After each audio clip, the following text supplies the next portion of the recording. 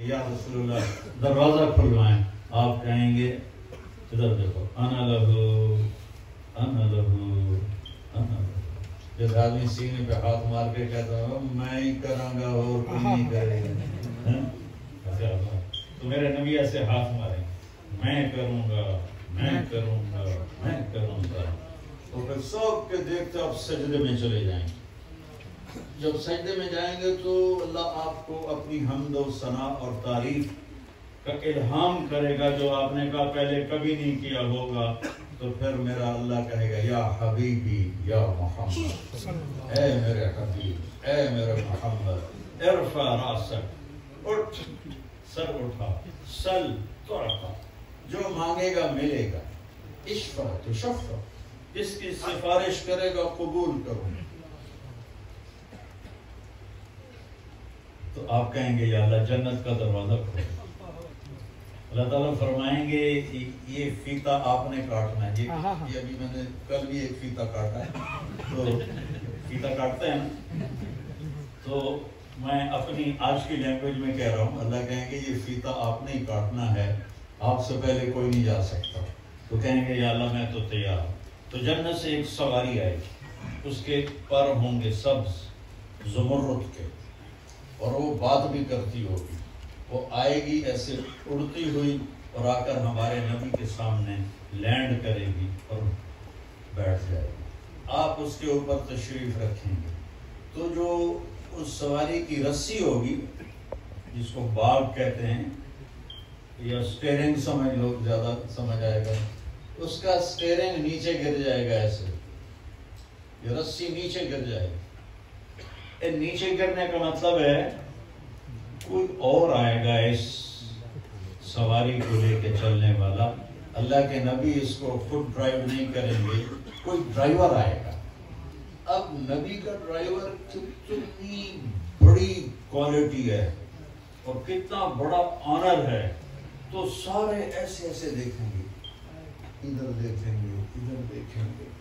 अबू बकर को मिलेगी, उमर को मिलेगी उस्मान को मिलेगी, या अली को मिलेगी, या हसन को मिलेगी, या हुसैन को मिलेगी, किसको मिलेगी? सब ऐसे एक दूसरे को देख रहे तो अल्लाह की तरफ़ से आवाज़ आएगी, बिलाल हबशी को बाहर।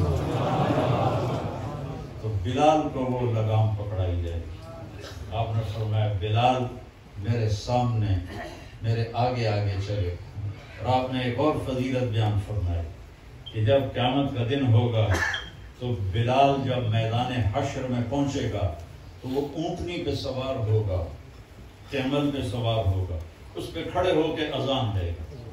उस पे खड़े होके अजान देगा। वो अजान अल्लाह सारी दुनिया के इंसान को सुनाएगा। और जब वो कहेंगे इल्लल्लाह तो अबू जहल भी कहेगा, सदकता सदकता, सच कह रहे सच कह रहे। जो कहेंगे, अशहदु मोहम्मद रसूलुल्लाह तो फिरौन भी कहेगा, सच कह रहे हो, सच कह रहे हो। और सारे ईमान लाएँगे। तो ये बिलाल की इज़्ज़त है। वो उनके आगे चलेंगे, आप दरवाजे पर पहुँचेंगे और नॉक करेंगे। और आपने फरमाया, सबसे पहले मेरी उम्मत मेरे पीछे होगी, बाकी सारी उम्मतों को पीछे कर दिया जाएगा। और वीआईपी आए सबसे आखिर ये तो ऐसे ही आप लोगों के लाइन लगती है कोई पीछे से आकर खिड़की पे पहुँच जाए? तो सारे उसको बुरा भला कहते हैं। और जो खिड़कियों में उठा होता है, वो भी आगे उसको शायद ना दे, जो भी लेना है उसने। तो मैं कॉलेज पढ़ता था तो मुझे उस वक्त ये फ़ोन नहीं होते थे तो ये वो टेलीग्राम होता था। तो लंबी लाइन लगी हुई थी और गर्मी के दिन। मैंने कहा जी। सारी लाइन ख़त्म की थी तो सुबड़ने पाएगा थोड़ा औखा कम हो जाएगा। तो मैं इंतज़ार करने लगा कि वो जो दिख रहा है वो ज़रा सर उठाए।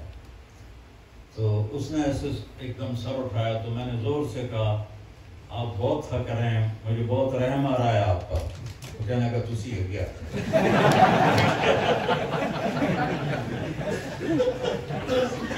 फ़ौरन मेरा टेलीग्राम लिया और सबसे पहले करके मुझे फारिग कर दिया। तो इस उम्मत को अल्लाह कहेगा, तुसी क्या? आ गया। देखो, अल्लाह ने कितना कर्म किया। हमें क्यामत का इंतज़ार थोड़ा करवाएगा। क्योंकि हम बिल्कुल एंड पर, और हम, और ये उम्मत तो बिल्कुल एंड पर है ना, बिल्कुल एज पर खड़ी हुई है कि अभी इधर से दज्जाल आया, इधर से दज्जाल आया। तो हमें जन्नत का इंतज़ार थोड़ा करवाएगा। जो आदम इस्लाम से जमाने से मरा है, वो कितना इंतज़ार कर रहा है। और हम तो इधर जाएँगे, इधर क्या मत आ जाएगी। और इधर जन्नत के दरवाजे अल्लाह खोल देगा। तो अंदर से आवाज़ आएगी, कौन? तो आप कहेंगे मोहम्मद तो कहेगा, या रसूल अल्लाह मैं रिजवान हूँ जन्नत का जीएम। मुझे अल्लाह का हुक्म था जब तक मेरा हबीब ना आए, दरवाज़ा नहीं खोलना। और मैंने कभी किसी के लिए दरवाज़ा नहीं खोला और ना आइंदा खोलूँगा। आप पहले हैं और आखिर है। वो दरवाज़ा खोलेगा और आपने फरमाया, मैं एंटर होऊँगा और मेरे साथ मेरी उम्मत के गरीब लोग पहले होंगे।